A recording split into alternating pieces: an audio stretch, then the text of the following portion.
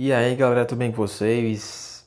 Hoje a gente vai falar aqui um pouquinho sobre aquelas disciplinas ou aqueles assuntos específicos que o método do estudo reverso parece não resolver. Eu digo parece não resolver, por quê? Né? Eu vou contar uma coisa engraçada para mim, que acontece comigo aqui, né? É que normalmente o que, é que acontece aqui? O YouTube me sugere de vez em quando um vídeo sobre estudo reverso. E na maioria desses vídeos que eu vejo, não é um vídeo indicando o estudo reverso, é muito mais criticando, falando mal, tentando apontar falhas uh, nesse método de estudo. Né? E o último vídeo eu achei engraçado, né? Eu não me lembro quem foi exatamente que fez esse vídeo aí, mas eu lembro que num trecho desse vídeo o cara falou o seguinte: Não, mas imagine você tentar aprender um assunto como atos administrativos por estudo reverso você vai apanhar muito, não sei o que mais, né? E eu lembro que eu aprendi as administrativas só pelo estudo reverso. É, e tem mais, a última, a última bateria de questões que eu fiz sobre as administrativas, eu acertei 90% das questões. Então, assim, é, o cara usou um argumento que, pela minha experiência, ele não procede. Então, eu vou aqui falar também de outras disciplinas que o pessoal fala muito que o estudo reverso talvez ele não se aplica, né? É, e uma dessas disciplinas aí é a disciplina de informática. Não toda disciplina como um todo aí, mas existem alguns é, assuntos específicos que o pessoal fala que não se repete nenhuma questão. É, e assim, o barato do estudo reverso é isso: é você é, vê uma questão, aí depois você resolve outra, depois mais outra, aí você vê que essa questão começa a se repetir uma pergunta que estava numa questão anterior aqui se repetiu de outra forma e tal, e você vai usar mais ou menos o que você aprendeu na questão anterior, nessa outra questão, etc. Né? É, e aqui eu vou mostrar que muitas vezes o problema está na forma de analisar essas questões, está na forma de você também é, pensar em como essas questões são cobradas. Né? Porque nem todas as matérias, nem todas as disciplinas elas chegam a ser exatamente iguais. Né? Às vezes dá essa sensação, mas assim, existem algumas disciplinas que exigem que você tenha um certo raciocínio, tenha um certo, digamos, um certo, um certo molejo, um certo macete ali para você se livrar de algumas questões, né? E aí eu vou ressaltar aqui dois tipos de métodos que são fundamentais para você conseguir resolver questões sobre assuntos sem necessariamente você saber do assunto inteiro, né? Porque em muitos casos é isso que acontece de fato, nas disciplinas de informática principalmente. Né? O primeiro é o método dedutivo, né? é um método muito usado aí nas ciências, né? não, não tanto na ciência, porque a ciência ela adota mais esse segundo método aqui, que é o indutivo, mas quando você tem assim, por exemplo, uma lei da física ou, ou um conceito, uma definição, uma regra geral, geralmente você vai usar o método dedutivo. E o que é que é o método dedutivo em si? Ele é basicamente o seguinte: você a partir do, do daquilo que é geral para concluir algo que é particular. Né? Por exemplo, você tem a proposição 1 aqui: todo homem é mortal, e a proposição 2: Sócrates é homem. E vamos ter a conclusão aqui que Sócrates é mortal. Né? Como é que você vê isso nas questões? Por exemplo, você tem lá uma lista é, de crimes contra a vida, por exemplo. Aí a questão está perguntando assim: é, quais desses crimes são é um crime contra a vida. Né? E aí, letra A vai ter, por exemplo, sei lá, concussão, ou talvez na letra B tenha estelionato, ou coisas do tipo assim. E você, digamos, você sabe, ou você decorou, você já estudou crimes contra a vida, você sabe que esses crimes não estão, não estavam naquele capítulo do livro, não estavam é, na lista de crimes contra a vida, etc, né? E aí você vê uma letra lá que vai ter homicídio. E aí você se lembra exatamente que você leu sobre homicídio nesse capítulo de crimes contra a vida. Então, você vai, já vai concluir que o único crime contra a vida naquela questão específica é o homicídio, né? Então aí você está usando o raciocínio dedutivo, né? Você está partindo de algo que é, que é a regra geral, do que você viu, né? Como geral, para concluir algo particular ali, né? É... E o método indutivo você vai usar muitas vezes, em muitos casos, quando você não conhece a regra geral, mas você já pegou vários casos parecidos e você vai tentar ajustar aquilo ali, né? Você vai tentar ajustar aqueles casos parecidos a um caso novo que tenha alguma semelhança com o caso anterior, né? por exemplo, no método dedutivo você tem aqui, todos os cisnes que eu vi eram brancos. Logo, todos os cisnes são brancos, né? Ou seja, ele está pegando aqui algo que é muito particular, ou seja, você tem uma visão da coisa, no, não no cenário amplo e geral, mas no cenário muito particular, que é o cisne que você viu, para concluir que todos eles são brancos. Mas a questão é que pode existir cisnes negros, né? Só que até o presente momento você não tem razão para acreditar que existem cisnes negros, porque você só viu cisnes brancos, né? É mais ou menos como você, como você também acreditar aí na.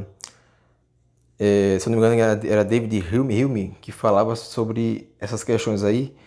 É, a questão do Sol nascer todo dia. Será que o Sol vai nascer amanhã? Você tem como saber isso, né? Pela tua experiência, já que o Sol nasceu todos os dias, né, desde que você acordou, então é provável que sim, o Sol vai nascer amanhã, né?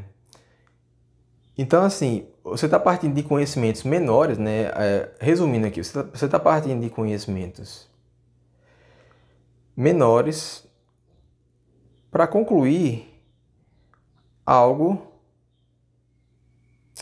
É, enfim, resumindo, para concluir algo maior, né? Eu queria escrever aqui, mas não estou achando. É, enfim, você vai partir de algo menor para concluir algo maior. Você vai partir de uma regra geral para concluir coisas específicas que você não sabe exatamente. Você não sabe se aquilo é uma exceção, se, enfim. Ou você está partindo de uma coisa particular para concluir algo mais geral, né? Então, é, eu vou mostrar isso aqui na prática com a disciplina de informática.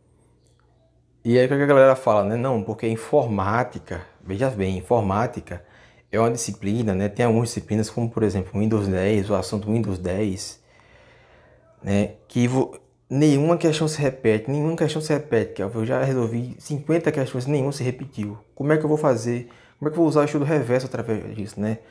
Então, conclusão, essa é uma disciplina que só pode ser estudada pela teoria e depois resolver questão, né? Ah, bem, é o seguinte. Eu vou mostrar aqui, né? Aqui no próprio concurso tem teoria aqui, né? Eu vou disponibilizar, ou melhor, é aqui, né? Eu vou, disponibilizar aqui o baralho para vocês, né? esse baralho específico aqui, eu selecionei 10 questões aqui para só a de, de demonstração, né? Disponibilizar um baralho específico aqui para mostrar para vocês o seguinte, né? Que eu vou fazer um desafio. Tente resolver pelo menos metade dessas questões filando pela teoria. Filando pela teoria. Você pode vir aqui, você pode olhar a teoria e tudo, e tudo mais, né? É, eu digo para você que a maior parte do que eu vi aqui não estão nessas, nessas questões que eu selecionei. Né? Tem alguma coisa ou outra que está aqui, mas não é, às vezes não é nem suficiente para você conseguir responder a questão.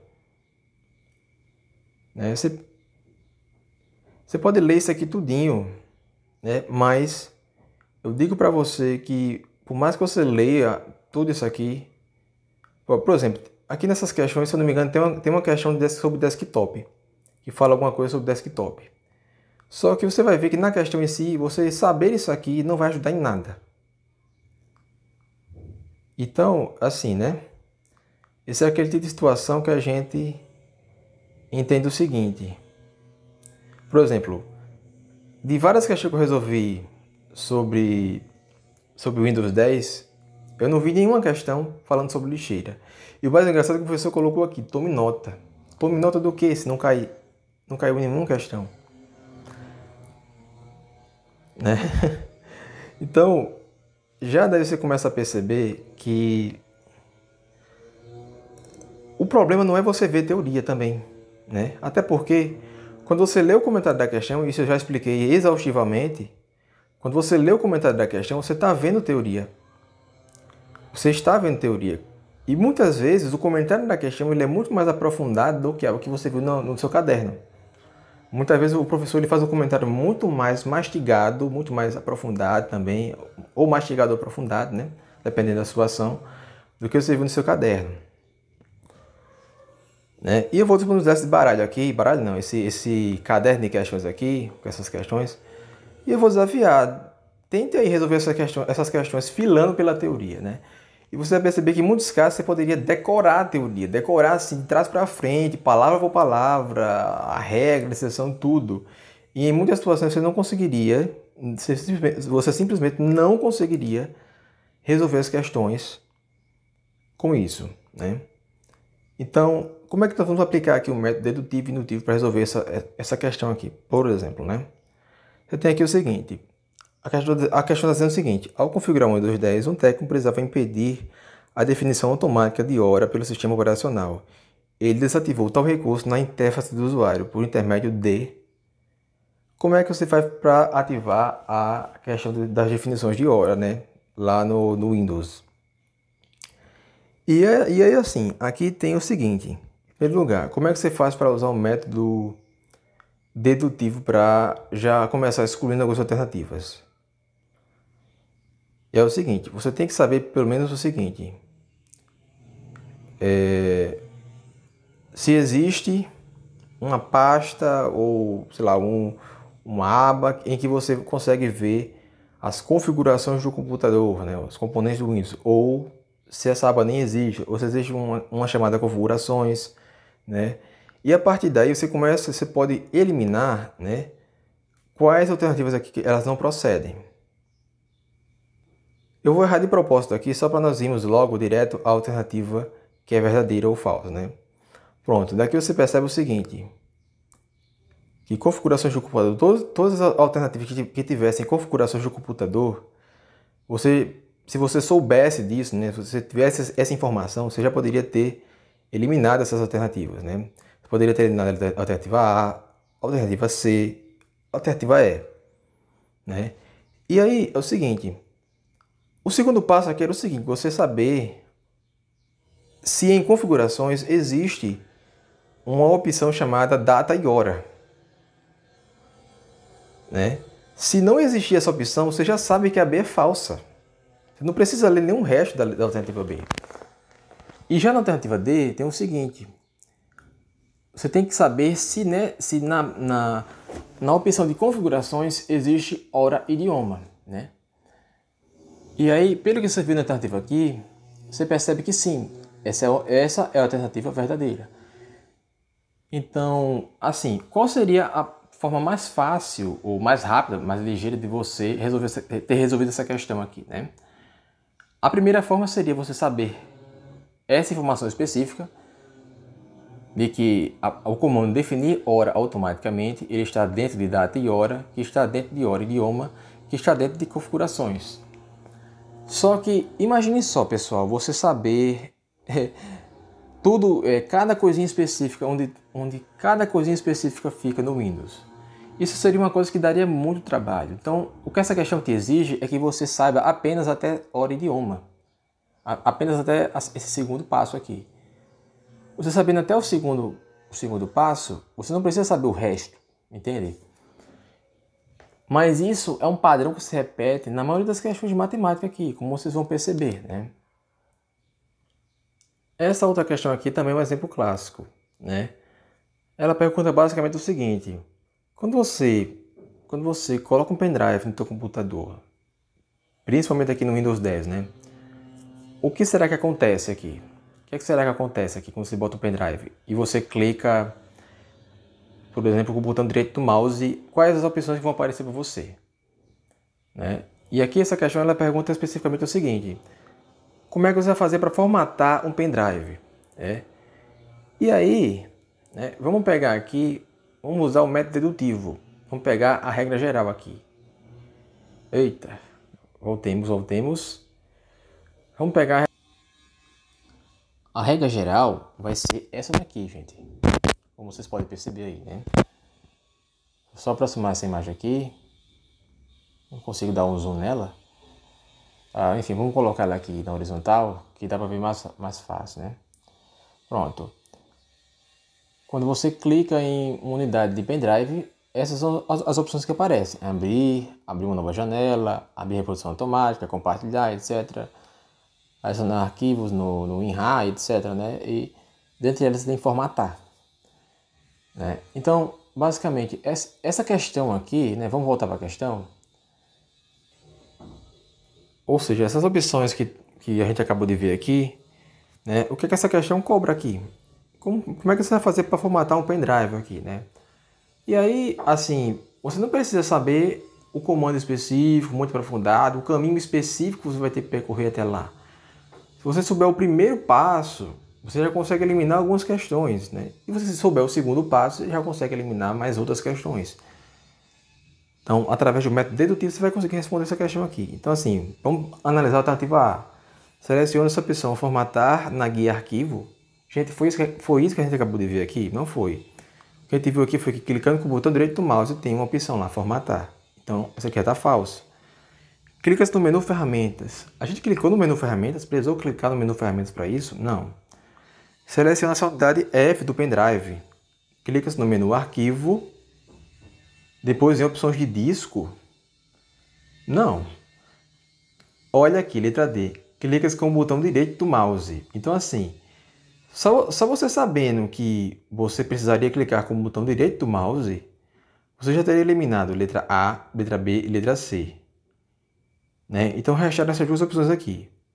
Letra D fala o seguinte: clica-se com o botão direito do mouse sobre a letra F, seleciona-se a opção Formatar e clica-se no botão Iniciar. Né? Então a gente já tem aqui os dois primeiros passos eles são verdadeiros, né? Só falta a gente confirmar o terceiro. Letra D diz o seguinte: clica-se com o botão direito do mouse sobre a letra F, seleciona-se opções de disco. Foi isso que a gente viu aqui, gente? Opções de disco? Não. A opção formatar ela já está lá, já é a primeira opção que aparece. Então só sobrou a letra D, gente. A gente não sabe se essa informação, a outra informação aqui, que é clicar no botão iniciar, ela é verdadeira. Só que sabendo apenas as duas, as duas primeiras informações, a gente vai ter uma noção aqui de qual afirmativa é a verdadeira. Vamos confirmar aqui esse raciocínio? Pronto. Resolvemos a questão. Vocês entendem que você não precisa saber tudo que aparece na questão, todo o comando específico que aparece na questão. Né? Em muitos casos, você precisa saber apenas até o segundo passo. Na maioria dos casos, né? Eu vou mostrar um terceiro caso aqui para vocês entenderem melhor isso aqui, né? E aí, quando você vai pegar a questão aqui, por exemplo, você vai ler o comentário da questão, o que eu acho interessante você fazer é o seguinte, né? É você tentar pegar nessa, né, é, no comentário da questão as regras gerais aqui. As regras gerais. Por exemplo, aqui ele vai mostrar aqui o que eu acabei de mostrar também. O professor acabou de mostrar aqui o seguinte a opção formatar que existe quando você clica com o botão direito do mouse sobre qualquer pendrive que você é, é, coloca no seu computador, né? E aí ele, ele explica até o terceiro passo. Só que o terceiro passo, para essa questão específica aqui, não era necessário você saber. Né? E vocês vão perceber que na maioria das questões não é necessário. Né? Então, quais conhecimentos seriam necessários você ter para resolver essa questão?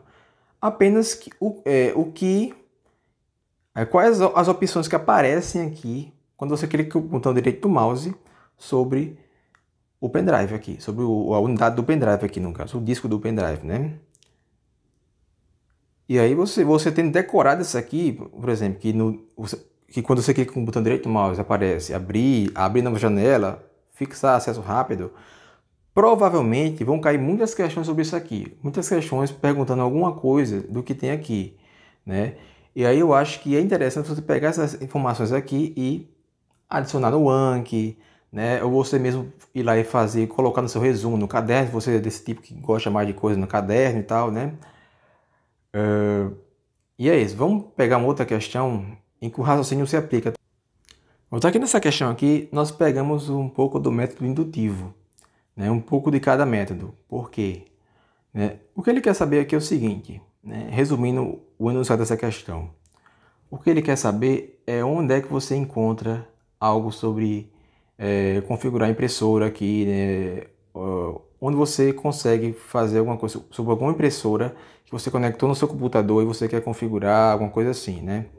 Onde é, onde é que você entra para fazer isso aqui?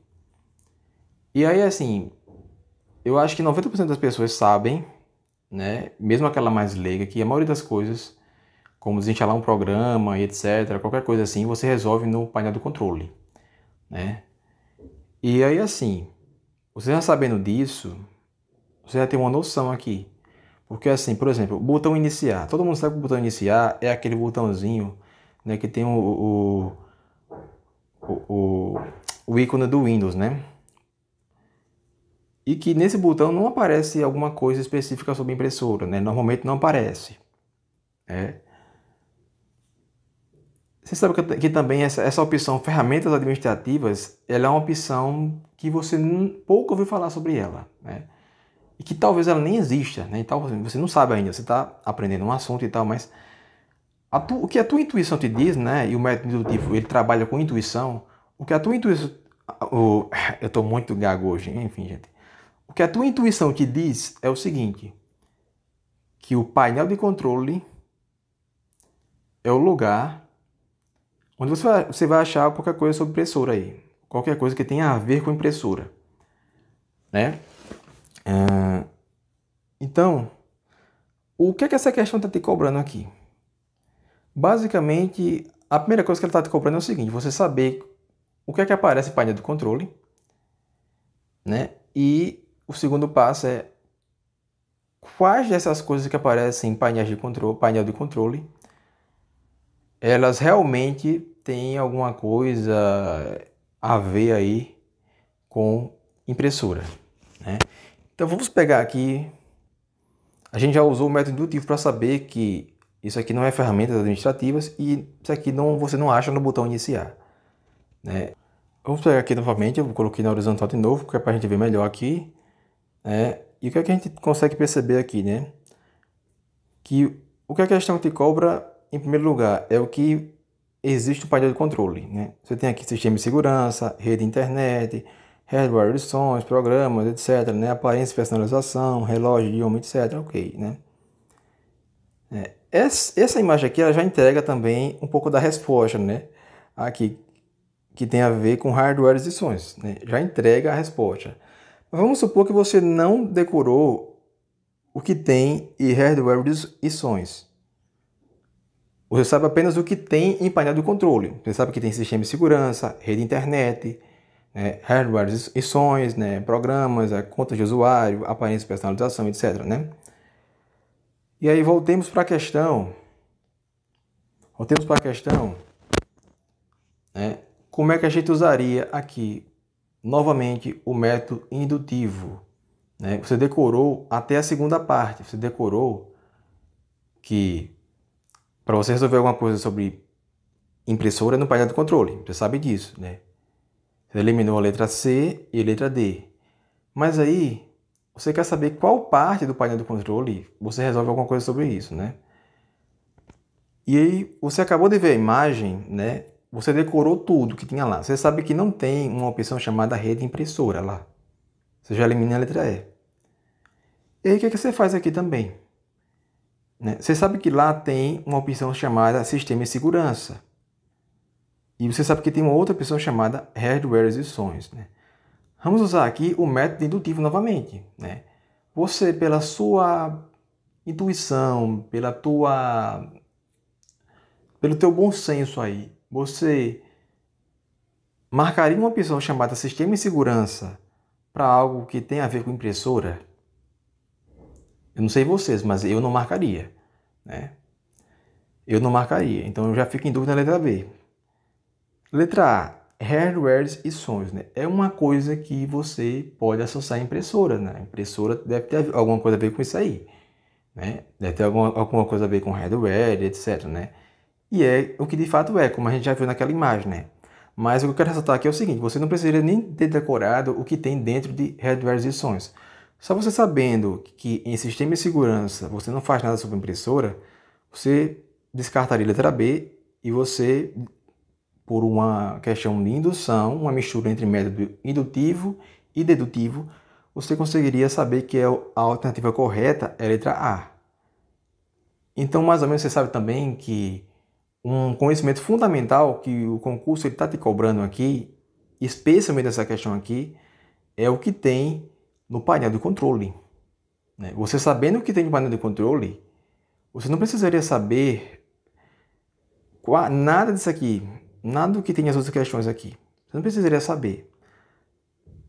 Porque você sabendo o que tem no painel de controle, você saberia que lá é que você vê coisas sobre impressora e que lá é que você vê coisas né, é, em que sistema de segurança provavelmente não vai ser uma coisa, não, não tem nada a ver com impressora, e que hardwares e sons, mesmo que você não saiba exatamente se tem ou não a ver com impressora, por ter sido alternativa que sobrou, ou porque muitas vezes você, por uma questão de bom senso, você acredita que pode ter a ver sim, você marcou a letra A e acertou. Entenderam? Então, em muitos casos, assim, nas questões, você precisa criar conhecimento, na verdade. Então, é isso aí que eu queria passar para vocês aqui, né?